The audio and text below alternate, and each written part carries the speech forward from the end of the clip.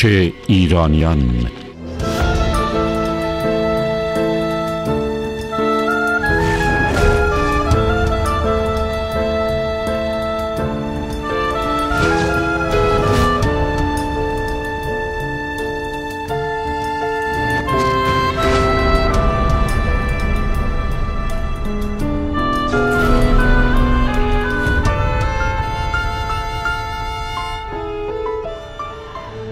بینندگان گرامی با درود فراوان به شما. برنامه تخصصی کوچ بزرگ ایرانیان را ملاحظه می کنید امروز با مروری گذرا به عوامل این کوچ اجباری سعی بر این داریم که موقعیت کنونی ایرانیان در راستای مهاجرتی ناخواسته به ویژه از جانب توده عظیمی از تحصیل کرده های ایرانی که تن به این جابجایی فرهنگی و جغرافیا می‌دهند را به ثبت برسانیم. اکنون که چهلومی سال مهاجرت را سپری می‌کنیم باید به اطلاع شما برسانم که عمق فاجعه مهاجرت بیش از این است که ما تا کنون به آن پرداخته ایم اخیرا گروه سیاسی بهار نیوز خبرگزاری جمهوری اسلامی افزایش شدید مهاجرت تحصیل کرده های از ایران به طور رسمی اعلام داشت. این خبرگزاری اشاره داشت که نتایج بررسی مهاجرتی که در سال 1344 خورشیدی یعنی 50 سال پیش توسط سازمان ملل انجام شده بود ایران را از لحاظ مهاجرت در ردیف پنج کشور آخر جدول نشان می‌داد. یعنی 50 سال قبل علاقه ایرانیان به مهاجرت نزدیک به صفر بوده است. در حالی که اکنون در صدر جدول مهاجرت جهانی قرار گرفته و ایرانیان در این جدول سومین مردم جهانند که به دنبال مهاجرت هستند. در همین راستا این خبرگزاری تاکید دارد که تعداد مهاجرین تحصیل کرده ایران هر سال به رقم 150 تا 180 هزار نفر می‌رسد. یعنی رقم بالایی از های انسانی ما هر سال کشور را ترک می کنند جای تاسف دارد که حکام به تخت نشسته امروز این واقعیت تلخ را نپذیرفتند. و از اینکه سرمایه های انسانی ایران با این شدت از دست می رود به هیچ وجه توجه ندارند توجه ندارند یا نمی‌خواهند که قشر تحصیل کرده در امور کشوری و دولتی همراه باشد. به حال در همین راستا ما امروز با یک پزشک و نویسنده و پژوهشگر تاریخ معاصر ایران به گفتگو می نشینیم دکتر مسعود نقرکار که تاکنون بیش از 27 تا 30 کتاب به رشته تحریر درآورده و آخرین نوشته او هزیان های مقدس است. که ما بعدا به آن می‌پردازیم. ولی امروز کتابی را که چند سال قبل منتشر کرد به عنوان زنگی های گود قدرت بیشتر مورد نظر ماست. اجازه دهید تا چند لحظه دیگر پای صحبت دکتر مسعود نقرکار بنشینیم و از او جویا شویم که به چه دلیل ایران را ترک کرده است. با ما باشید.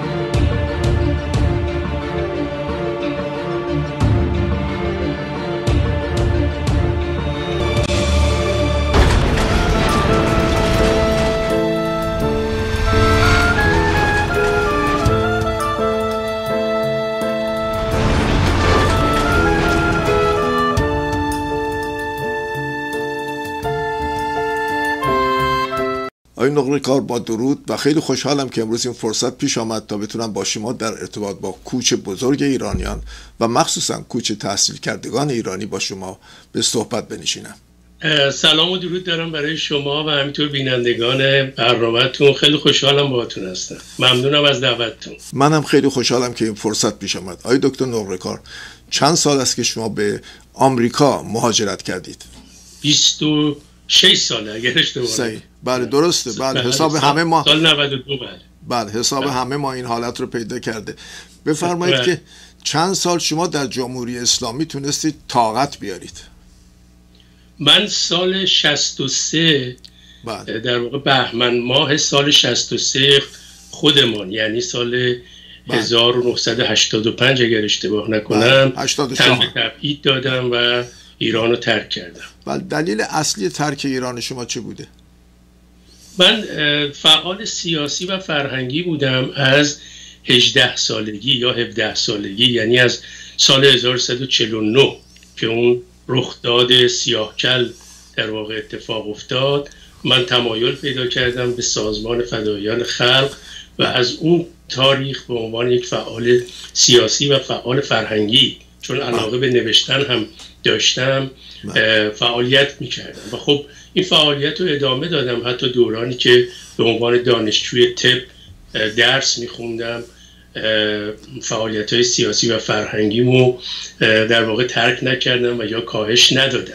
خب در دوره حکومت اسلامی هم بعد از انقلاب من بازم به عنوان یک فعال سیاسی و فرهنگی فعالیت می‌کردم. و علت ترک میهنم هم به خاطر این بود که به خاطر این فعالیت ها در خطر بودم و مجبور شدم ایران رو ترک بله فقط اون فعالیت های اولیتون که فرمودید در سال 49 مایل هستم بدونم درصد فعالیت سیاسیتون بیشتر بود یا فعالیت فرهنگی شما؟ بیشتر فعالیت سیاسی بود به عنوان سمپاتیزان یا هوادار سازمان فدایان خلق من فعالیت می‌کردم. البته یه گروهی بودیم در یک محله در نظام تهران. بله. اون مجموعه در واقع به عنوان هواداران سازمان بودیم و فعالیت می‌کردیم. بله ادهی هم که من مصاحبه کردم خانه های مخفی خودشون رو در جنوب تهران داشتند من این رو متوجه شدم که اونجا یک مقداری راحتتر می‌شد مثل اینکه در به فعالیت های فرهنگی و سیاسی پرداخت. بله ببیشه منطقه نظام آباد هم خب یکی از مناطقی بود که به حال هم جمعیت زیادی داشت هم تراکم زیادی وجود داشت و در این حال یک بستری بود برای این نوع فعالیت ها خیلی بله. از چریک های فدایی هم می‌دونید که در همون محله تا کشته شدن دستگیر شدن یه محله ویژه بود اون محله نظام بله. خب ببینید خود من حدودا همون نزدیکی ها به دنیا آمدم من متولد کوچه مروی هستم اگر بشناسید.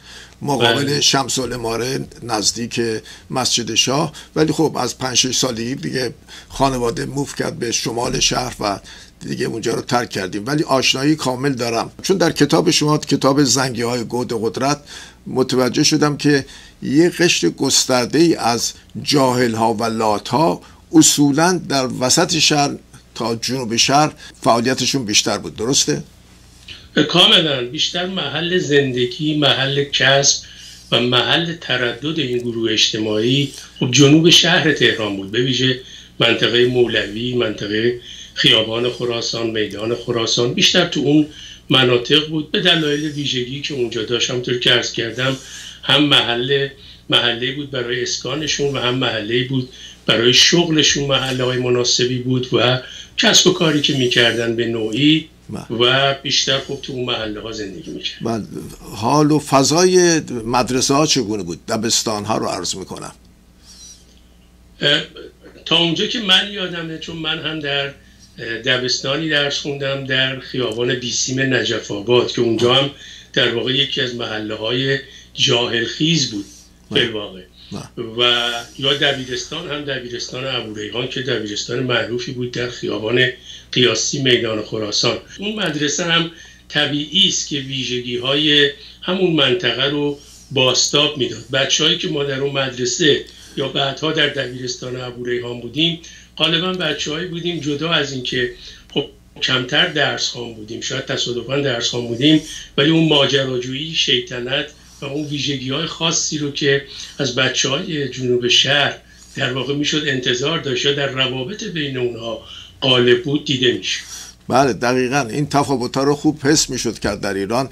در رابطه با ورزش هم مثل که جو خوبی وجود داشت در جنوب شهر. اکثرا اهل ورزش بودن و بله تنها سرگرمی که خب میشه گفت به راحتی در دسترس بود. می‌دونید خیلی از فوتبالیست های سرشناس خیلی از های سرشناس از اون محله ها هستن خب منطقه مناسب بود برای بله. بازی فوتبال یا حتی یک محله هایی بود یا محله هایی بود برای ورزش کشتی و حال زمینه مساعد بود و بله. شاید بشه گفت که جدا از اون ویژگی های سنتی که در اون مناطق وجود داشت در رابطه با ورزش مثل کشتی ولی در رابطه با فوتبال هم به حال شرایط مناسب بود. سرگرمی دیگری هم نبود.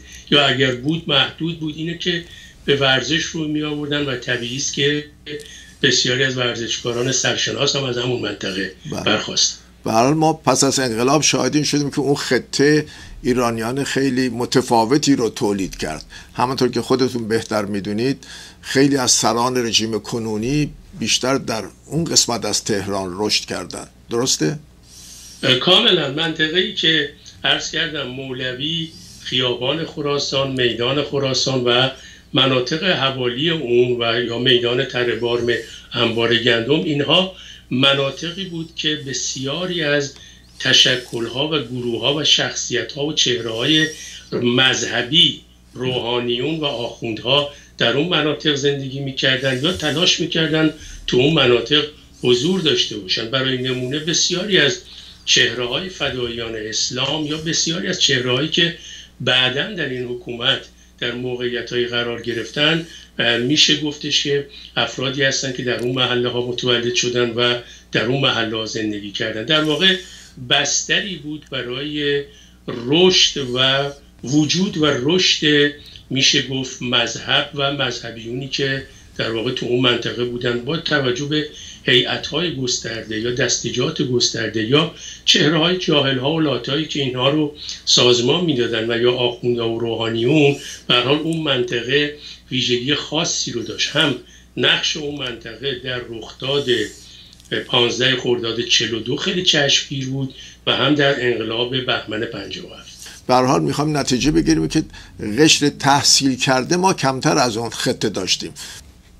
خیلی خب محدود بود در جنوب شهر تهران می‌شد کمتر دید جوانانی که این موقعیت رو پیدا بکنن که به دانشگاه برن یا تحصیلات عالیه بکنن. هم به دلایل مالی هم به دلایل ویژگی هایی که تو اون مناطق به لحاظ آموزشی بود اینها به حال تاثیر میذاشت. همونطور که اشاره کردید بیشتر از طبقات میانی و اخشار مرفه بیشتر به دانشگاه می‌رفتن بله در اون دوران. بله در آن دوران مثل که الان فرق کرده. ولی از اینکه بگذریم خواستم بدونم چطور شد که شما به دنبال تحصیلات دانشگاهی رفتید؟ واقعیتش شانسی بود. یعنی من خودم هم تصور نمی کردم بیشتر در اون دوره که کنکور سراسری بود و امتحانهایی باید می‌دادیم خب من بیشتر ذهنم متوجه فعالیت های سیاسی بود با اینکه خب نوجوان و جوان بودم. ولی من در کنکورها شرکت کردم و خب امتحانها قبول می شدم و برای خودم هم و خانوادم حتی تعجب برانگیز بود. بله. اینه که من خیلی با برنامه فلواقع درس خون نبودم و با برنامه پیش نرفتم. پس اگر درس خون نبودید چگونه به دانشگاه راه پیدا کردید؟ شاید نمی‌دونم نه اینکه نخ درس خون نبودم ولی اونطور که خود یعنی میشه تصور کرد که بچه که دانشگاه میرن خب با برنامه هستن مرتب درس می‌خوانن. من این گونه نبودم ولی فکر می‌کنم یک کمی اگر تعریف از خودم نباشه هوشم بد نبود. خیلی زود یاد می‌گرفتم چیزا. بعد بفرمایید که فعالیت های فرهنگی شما چگونه بود؟ فرمودید 17 18 سالگی بیشتر فعالیت فرهنگی می‌کردید. در اون دوره من با نوشتن داستان های کوتاه شروع کردم. البته نه با نام خودم چون اون تیپ سیاسی بودم علیرغم نوجوانی و جوانی. یک به حال اون دوره به نظر می اومد با نام مستوار کار کردن یک نوع مد بود یا یک نوع اعتبار فردی به آدم می‌داد در جمع خودی ها من با داستان های کوتاه شروع کردم با نه با نام خودم البته بعدها با نام خودم داستان های کوتاهی منتشر کردم در مجلات آن روز. اما بیشتر فعالیت فرهنگی برمیگشت به سالهای 53 54 که با دوستان شاعر و نویسنده یک انتشاراتی رو دایر کردیم در خیابان نظام آباد. بیشتر از سال 55 فعال شد که این انتشاراتی در واقع می‌شد. میشه گفت پاتوق بسیاری از نویسندگان و شاعران و پژوهشگران شد و همینطور فعالین سیاسی. و همین کتاب فروشی منو خیلی نزدیک می‌کرد به جمعهای فرهنگی به ویژه کانون نویسندگان ایران. و خب همین مشوق من بود برای اینکه من بیشتر بخوانم و بیشتر به سمت نوشتن کشیده بشم. این تا حدودی فعالیت فرهنگی من در این حوزه.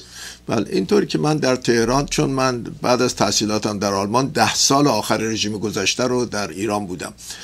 و اینطور که من شاهدش بودم می‌دیدم که قشر میانی ایرانی در داخل کشور مخصوصا کسانی که از وسط شهر در جنوب شهر زندگی می‌کنن از امکانات کمتری برخوردار بودن. خاطرم از هر وقت مقایسه می‌کردیم با شمال شهر خیلی متفاوت بود. خاطرات آقای باغی رو خوندم که ایشون هم در جنوب شهر به دنیا آمده بود و تابستان ها می‌رفت برای کار کردن به یک کارخونه جایی. و گفت که یک بار چون کار نبود در جنوب شهر مجبور شد رفت به شمال شهر در رستورانی کار کرد و به یک بار شوکه شد. چون دید اصلا خانما تقریبا لخت را میرن همه مینیشوب پوشیدن و اصلا فضای دیگه ای هست. گفت نوشته بود در خاطراتش که چنان رویشون تاثیر گذاشت که حتی بعد از چند ماهی به خواهر خودش ایراد می‌گرفت که چرا روسری سرش می‌کنه. به حال این تفاوت بین جنوب و شهر و شمال شهر خودش مسائلی تولید کرد. خودش سازندگی داره در پی خودش. بفرمایید که شما پس در چه سنی وارد دانشگاه شدید؟ من فکر می‌کنم همون سالهای 49 18 سالم بود. وارد دانشگاه شدم و سال 56 57 هم درسم تموم شد به عنوان پزشک. البته خب همراه بود با انقلاب بهمن که خب فعالیت های همون انقلابی هم تا حدودی روی درس خواندن من تاثیر گذاشت ولی تونستم دانشکده رو تموم بکنم و بعد از اون هم تا حدودی دوره تخصصی رو شروع کنم که خب نتونستم ادامه بدم به دلایل همین فعالیت های سیاسی و فرهنگی. البته به عنوان پزشک در درمانگاه ها و یا مطب خودم و بیمارستان های مختلف در تهران و شهرستان ها کار کردم تا موقعی که ایران رو ترک کردم. خب سالی که شما تحصیل رو شروع کردید 49 میفرمایید تا 56 و 57 سالهای انقلابی بود. خاطرم هست که همون سال 50 51 52 بگیر و به بندهای زیادی بود. دوستان من در دانشگاه می‌گفتن که ما در حین تحصیل بودیم. از این در به یک بار سربازا میمدن ما از اون پنجره فرار می‌کردیم. یه همچین فضایی بود در اون دوران؟ بله کاملا. من بارها البته خودم تو اون دوره به خاطر فعالیت هایی که در سطح دانشگاه یا سطح محله داشتم دستگیر شدم. بارها گارد دانشگاه می‌گفتیم. به یاد دارم که به خوابگاه ها میریختن و دانشجویانی که تظاهرات می‌کردن و یا به اعتراضاتی می‌کردن و مورد ضرب و شد قرار می‌دادن دستگیر می‌کردن. برای چنین فضایی سالهای بعد از سیاهکل یعنی همون بعد از سال 49 سالهای 50 51 52 تا حتی 53 یک فضای قالب بود در محیط های آموزشی به ویژه در دانشگاه. بله. ولی شنیدم از یکی از همکاران یا همفکران شما که سال 56 دیگه تقریبا همه چی خاموش شده بود. یعنی حکومت به طور کامل تسلط پیدا کرده بود بر قشری که انقلابی برخورد می‌کرد. بله دو سازمان خب بزرگ سیاسی بودن که فعالیت نظامی می‌کردن یا فعالیت چریکی داشتن.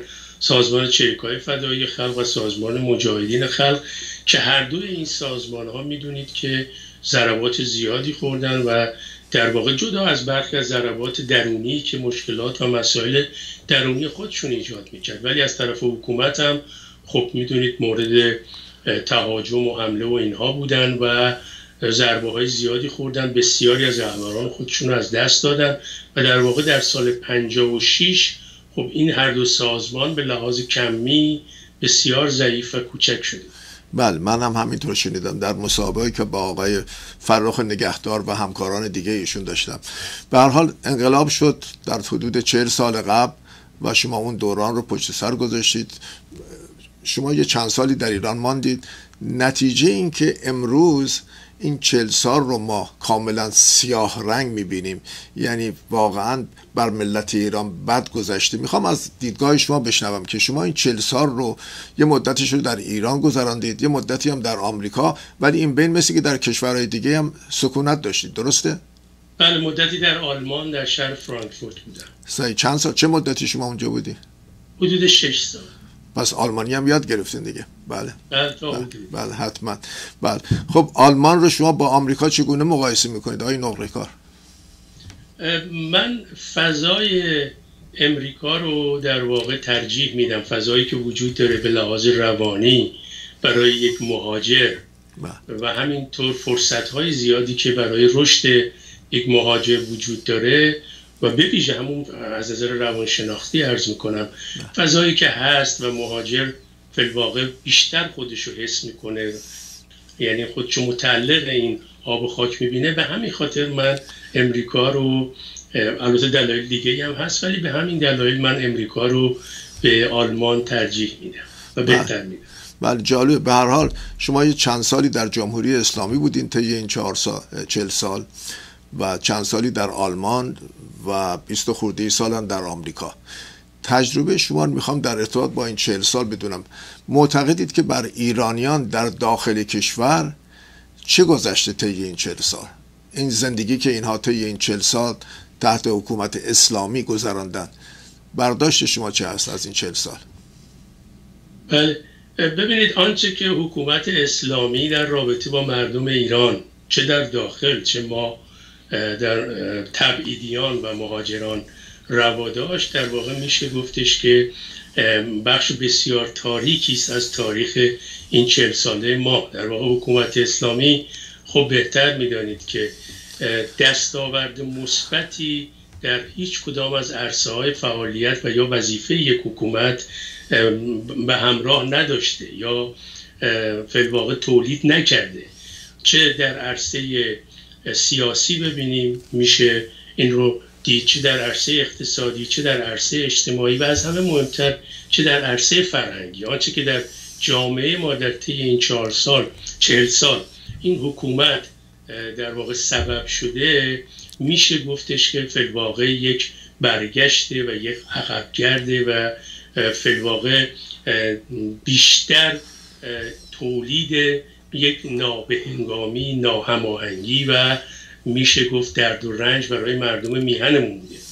ولی شرایط جهان به طور کلی در همه عرصه ها طوری بوده که در همین چهل سال جامعه ایران به هیچ وجه تحت تاثیر این حکومت قرار نداشته. علا رقم سرکوب ها فشارها و علا رقم سختی هایی که بر مردم روا داشته هم شرایط جهانی و هم شرایطی که خود مردم میهن ما به لحاظ تاریخی فرهنگی و سیاسی داشتن به گونه ای بوده که خب جامعه حرکت ها و تحولات مثبتی رو داشته.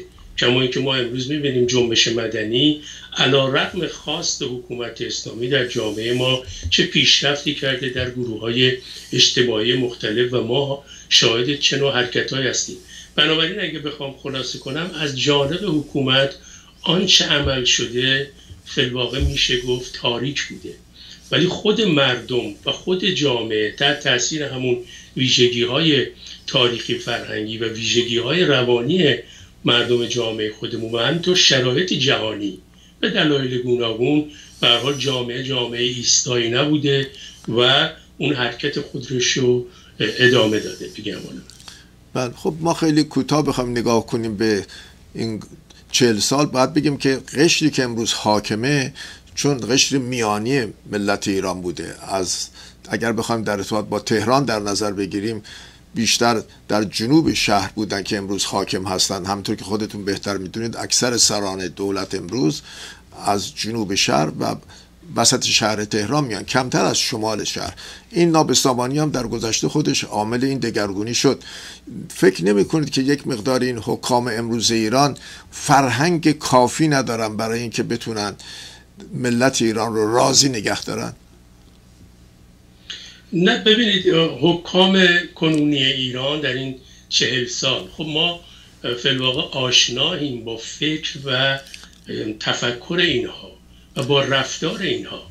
اینها در واقع یک گروه اجتماعی یا به هر حال اگر به لحاظ طبقاتی بگیم از طبقه میانی خورده بورژوازی سنتی هر آنچه که به لحاظ طبقاتی میشه بهشون نسبت داد ولی به خاطر ویژگی مذهبی که این مجموعه داشتن اون هم مذهب تشیع با ویژگی هایی که این مذهب داشته بدون تردید نمی‌توانند حامل نمی‌توانند و نمی‌توانستند حامل یک حرکت و یک فرهنگ مترقی و پیشرو و چه در عرصه سیاست حتی چه در عرصه اقتصاد باشه.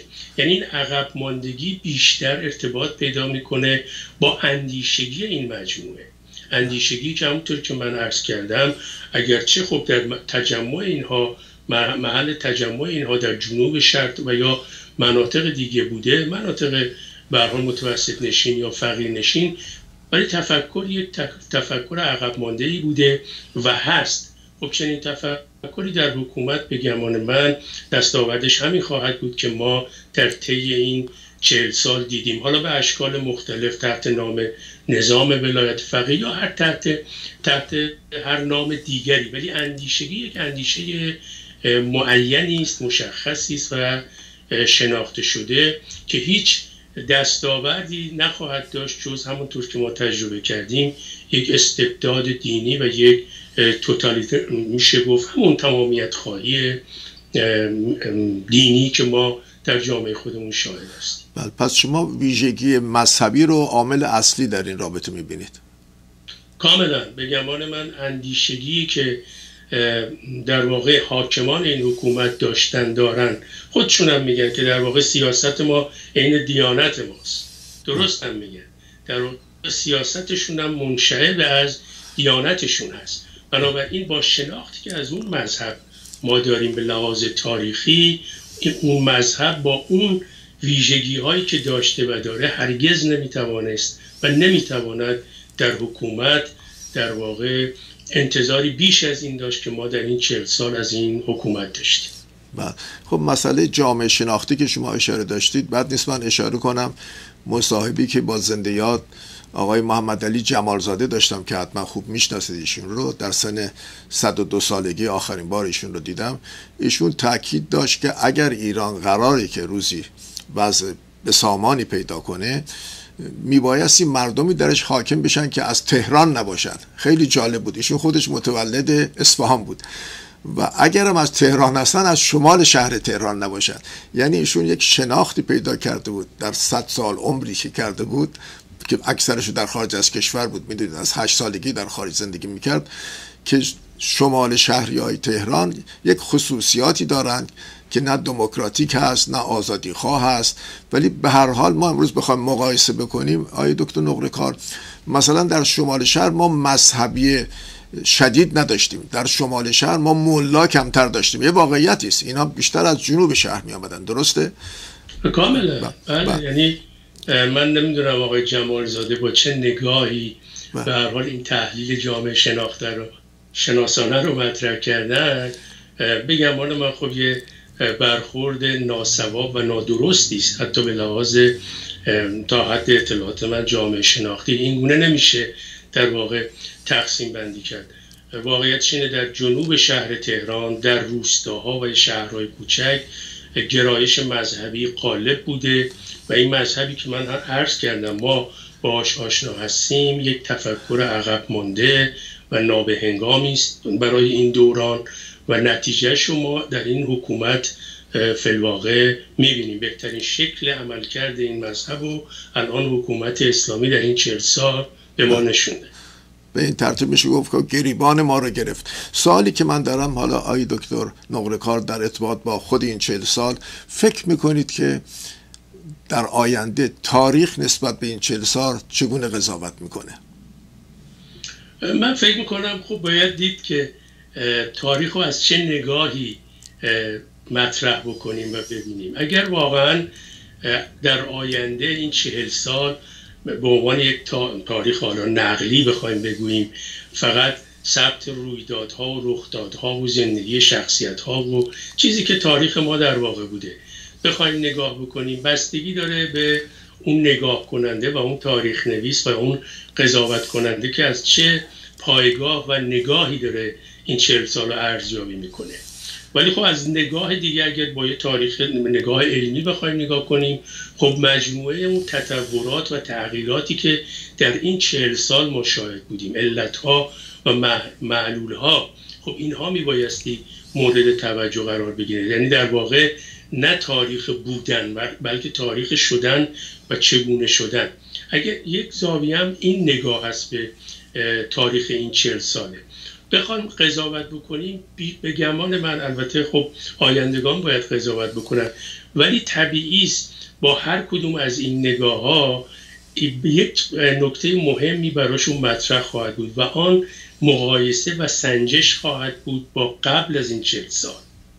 و یا اینکه در این چهل سال در مقایسه با جامعه ما جوامع مشابه چگونه بودن من فکر می‌کنم قضاوت این خواهد بود که در این چهل سال ما حتی نسبت به گذشته خودمون به خاطر حکومتی که در رأس کار بوده و همینطور فقط هم حکومت مقصر نیست بخش ناآگاهی از مردم که از این حکومت حمایت کردن و حمایت می‌کنن در واقع چهل سال یک دوره تاریکی من اگر باشم ارزیابی می‌کنم جدا از اون بخشی که بخش آگاه جامعه ما و همینطور شرایط جهانی و به هر حال ویژگی های دیگه سبب شده که ایستا نباشه مانا باشه در یعنی پویا باشه ببخشید. و بله. در مقابل حکومت که بیشتر خواستاریه که میشه گفت رکود و یک عقب ماندگی بوده ایستاده. شما جز اون نصری هستید که سالهای 49 تا 50 و 56 فعال سیاسی بودید در ایران. و حالا از مجاهدین که بگذاریم چون جنبه مذهبیشون بیشتر بوده نسبت به فدایان طرفدار آزادی و دموکراسی بودین در آینده ایران. فکر می‌کنید چه عاملی باعث شد که این فعالیت های نسل جوان نسل جوان دانشگاهی در درجه اول نتونست به نتیجه برسه؟ ببینید برای که در واقع ریشه یابی بشه که چرا این اتفاق در ایران افتاد یعنی انقلاب سال 57 می‌دونید که برای باید خیلی مفصلتر سراغ مسئله. درسته. در رابطه با انقلاب سال 57 علل بروز این انقلاب و شاید اگر بشه برشمرد 20 علت بدون اقراق من بخوام بگم تا به حال در رابطه باش مطرح شده. مثل نقش اقتصاد نقش خود شخص شاه نقش به اصطلاح عوامل جهانی نقش خود مذهب اینها همه مطرح بوده. اما اینکه نسل من در واقع چرا متوجه چنین وضعیتی نشد واقعیتش اینه خود من هیچ درک درستی از آزادی و دموکراسی نداشتم امروز وقتی برمیگردم به اون دوران. برای ما در واقع یک شناخت درستی نبود. ما من خودم با یک نگاه مارکسیستی البته ناقص که خیلی نزدیک می شده حتی به نگاه مذهبی ها, مذهبی ها با چنین درکی رشد پیدا کردم. بنابراین در مقطع انقلابم برام در واقع این ناروشنی ها وجود داشت. می‌خواستم در واقع یک چیزی بره اما نمی‌دونستم چه چیزی باید جای اون گذاشت که بهتر از اون باشه. بنابراین یکیش میشه گفت عدم شناخت خود نسل من از آزادی دموکراسی حقوق بشر و این نوع مفاهیم بود. و خب واقعیتش اینه که شرایط جامعه هم طوری بود که محدودیت ایجاد می‌کرد برای اینکه این شناخت پیدا بشه. به هر حال نمی‌تونیم کتمان بکنیم که اختناق چگونه اون دوره عمل می‌کرد و ایفای نقش می‌کرد. من فکر کنم عوامل متعددی دخالت داره ولی نسل من اگر من خودم رو میگم قصدم سایری نیست. واقعا یک نسلی بود فقط یک آرمان قشنگ در ذهن داشت. ولی شناخت دقیقی از مفاهیمی که گفتم و اینکه چگونه می‌توان به این مفاهیم رسید و ما به ازای عملی از اینها بیرون کشید رو نداشته چنین بله عامل اصلی رو در چه چیزی می‌بینید شما؟ آیا نقره کار؟ آیا نوع حکومت بود؟ نوع برخوردش با نسل جوان بود؟ نوع تعلیم و تربیت بود یا غرب زدگی بود؟ کدوم اینها رو شما بیشتر در این مسئله با اهمیت می‌بینید؟ ببینید عوامل گوناگونی بدون تردید یک عامل عمل نکرده. در واقع همه این عواملی که برمیشماریم ایفای نقش کرده. ولی یک نکته ای رو به گمان من باید منصفانه و صادقانه دید که نقش خود رژیم سابق به ویژه نقش خود شاه در بروز انقلاب نقش کوچکی نبوده. این رو باید قبول کرد. نمی‌خوام بگم که گروه های اجتماعی دیگه و یا عوامل بیرونی عوامل دیگر درونی بی تاثیر بودن ولی نقش کسی که در واقع اون مملکت رو ران می‌کنه اون مملکت رو اداره می‌کنه و نقش اون مجموعه نقش پر اهمیتی است. به گمان من امروز خب ما می‌بینیم که چقدر فرافکنی میشه به ویژه از سوی عزیزان سلطنت طلب که بله روشنفکران عامل این انقلاب بودن گروه های اجتماعی دیگه بودن در حالی که این دقیق نیست این منصفانه نیست. اگرچه ضعف روشنفکری و ضعف بسیاری از مسائل سیاسی و اجتماعی اقتصادی فرهنگی رو میشه مطرح کرد. ولی نقش خود رژیم سابق رو باید در نظر گرفت. شما ببینید درست دوره‌ای که منو دستگیر کردن به خاطر اینکه یک کتاب چند صفحه‌ای آقای سمد بهرنگی رو خوانده بودم و در خانم بود خب مسجد محله ما و آخوندهای محله ما هیئت‌های محله ما که داشتن سازماندهی می‌کردن برای این آینده که انقلاب بکنن و با برنامه هم بودن بعدها. متوجه شدیم. اینها آزادانه در اون جامعه حرکت می‌کردن و مورد حمایت رژیم بودن.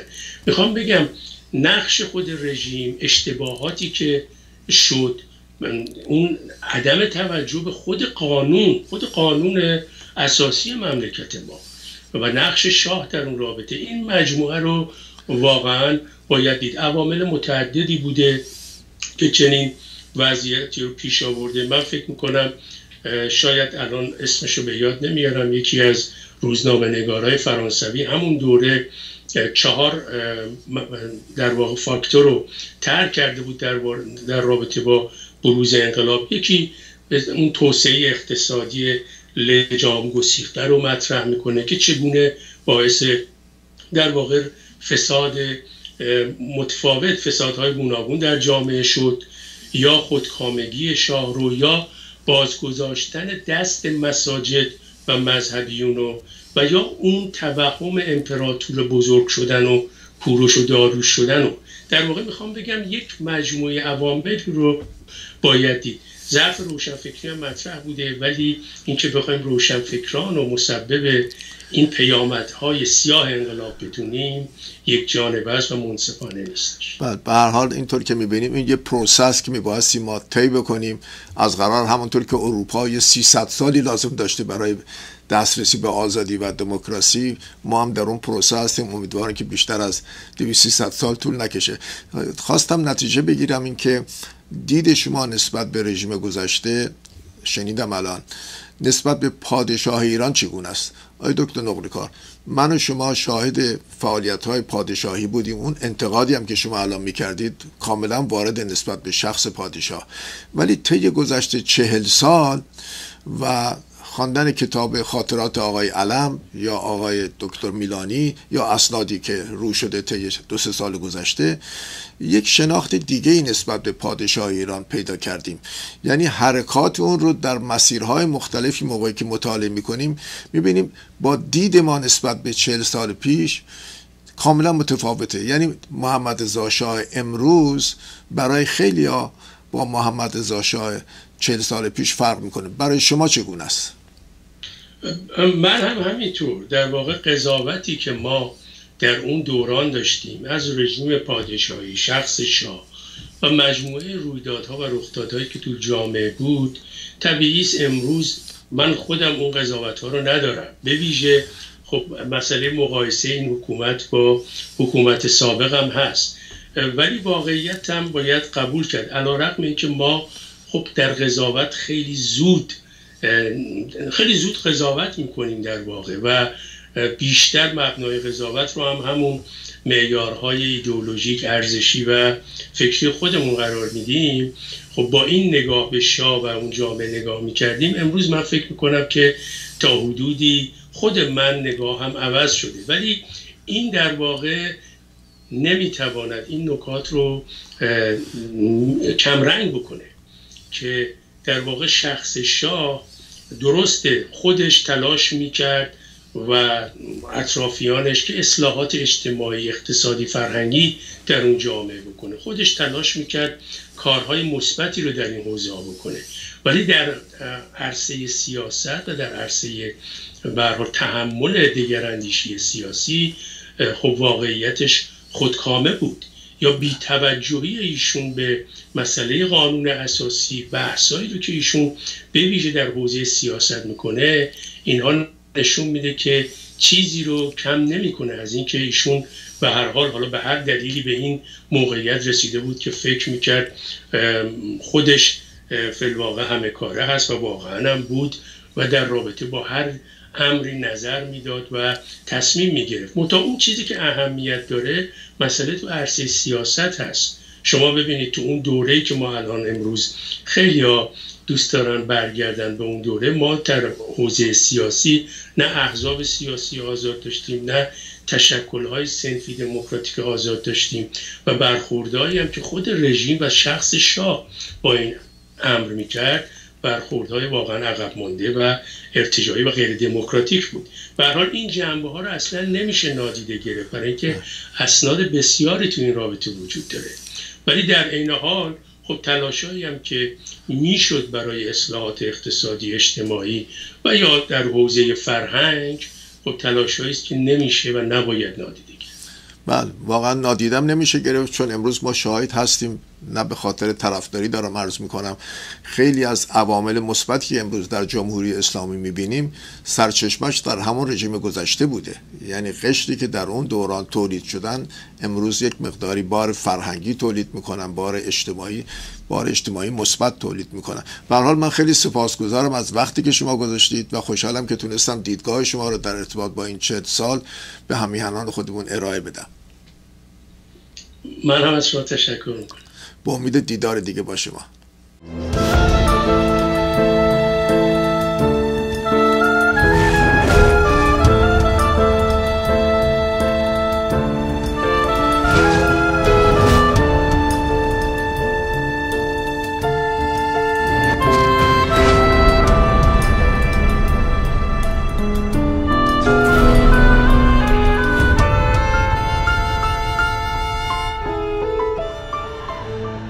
در نگاه به کوچ ایرانیان با ما همراه باشید تا روزی با هم آن را به پایان برسانیم.